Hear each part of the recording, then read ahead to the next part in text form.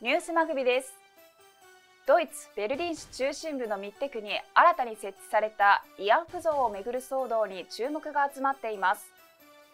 設置者は主要なプロジェクトとして慰安婦問題への取り組みを掲げている在統一韓国人の団体コリア協議会。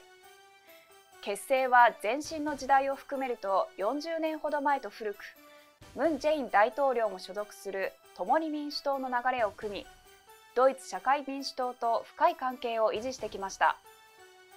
ムン大統領の任期はあと1年半ほどですが次期韓国大統領が共に民主党から出た場合